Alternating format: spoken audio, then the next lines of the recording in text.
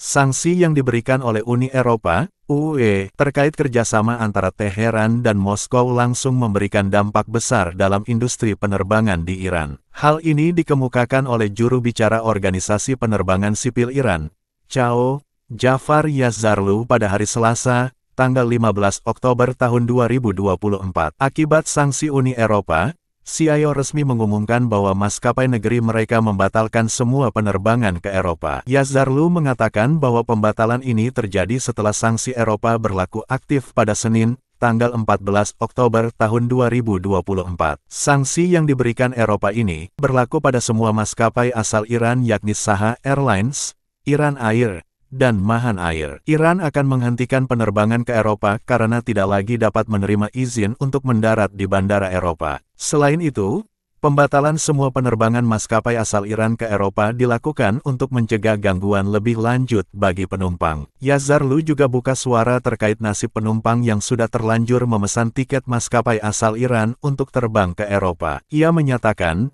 Pihak CIO akan mengambil langkah-langkah yang diperlukan untuk memfasilitasi perjalanan penumpang tersebut ke tujuan di Eropa di tengah sanksi yang ada. Fasilitasi tersebut termasuk pengalihan penerbangan menggunakan maskapai dari luar Iran untuk perjalanan ke Eropa. Seperti yang diketahui sebelumnya, pada awal pekan ini Uni Eropa memberlakukan sanksi terhadap Wakil Menteri Pertahanan Iran, anggota senior pasukan revolusi paramiliter, dan tiga maskapai asal Iran. Sanksi ini diberikan Uni Eropa karena dugaan pihak-pihak tersebut turut menyuplai drone, misil, dan peralatan lain kepada Rusia untuk digunakan dalam perang melawan Ukraina. Wakil Menhan Seyed Hamseh Galandari adalah salah satu dari tujuh pejabat senior yang kini dilarang bepergian ke Eropa. Tak hanya larangan pergi ke Eropa, aset milik Galandari di benua biru juga turut dibekukan. Selain itu, Tiga maskapai Iran yakni Iran Air, Mahan Air, dan Saha Airlines mengalami pembekuan aset. Ketiga maskapai tersebut telah menggunakan pesawatnya berulang kali untuk mengangkut kendaraan udara tak berawak buatan Iran dan teknologi terkait ke Rusia untuk kepentingan agresi terhadap Ukraina.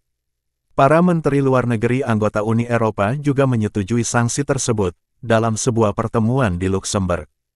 Sebelumnya pada bulan Maret, Eropa juga telah memberikan peringatan keras kepada Iran.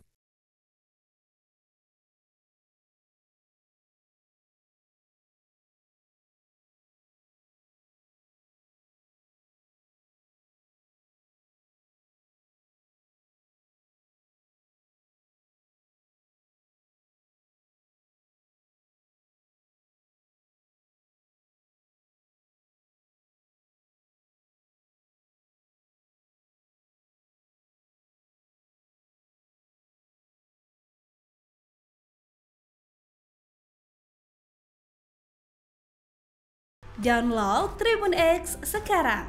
Menghadirkan lokal menjadi Indonesia.